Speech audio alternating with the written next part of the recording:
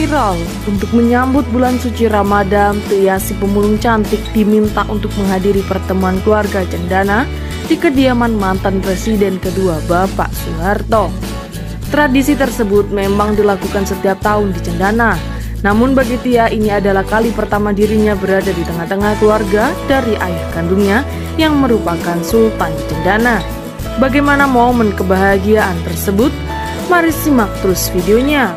Namun sebelum lanjut ke pembahasan, jangan lupa pastikan jari Anda untuk tekan tombol subscribe, like, komen, dan juga tekan lonceng notifikasinya untuk mengetahui video-video terupdate dari kami.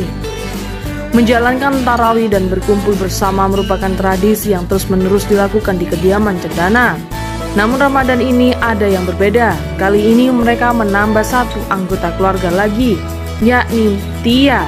Tia merupakan pemulung asal Garut ia viral lantaran memiliki paras yang cantik dan juga bersih sebagai seorang pemulung. Tentu hal tersebut memancing tanda tanya besar di pikiran warganet. Penasaran dengan asal-usul Tia, warganet langsung mencari tahu tentang siapa sebenarnya pemulung cantik yang tengah viral tersebut. Tia merupakan anak yang dibesarkan ayahnya yang bernama Asep. Namun ternyata Tia merupakan putri dari Sultan Cendana Hal tersebut dibuktikan dengan foto Tia waktu masih kecil saat digendong pria mirip Tommy Soeharto.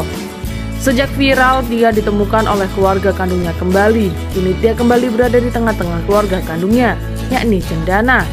Kisah Tia si pemulung cantik seperti halnya di cerita dongeng. Tia pemulung cantik asal Garut viral di media sosial dan mencuri perhatian warganet.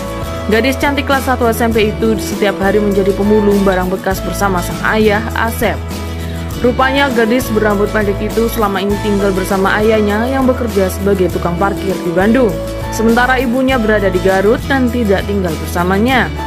Setelah pulang sekolah, Tia biasa menolong sang ayah memulung sambil membawa gerobak berwarna pink dengan tulisan doa itu nyata. Tak cuma memulung, Tia kerap bekerja menjadi kuli angkut tabung gas, upahnya pun tak besar, hanya Rp20.000 per 10 hari. Meski demikian, Asep mengatakan bahwa putrinya tidak pernah pergi memulung jika sedang ada tugas sekolah.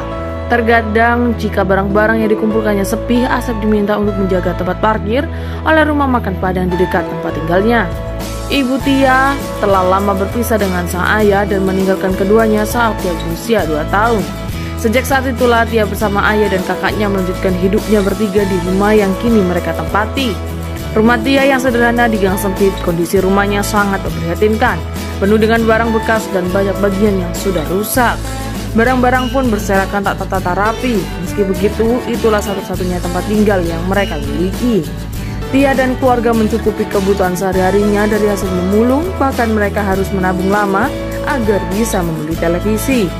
Demikian informasi yang dapat kami sampaikan. Jangan lupa ikuti terus channel update artis untuk mendapatkan info-info terbaru dari kami.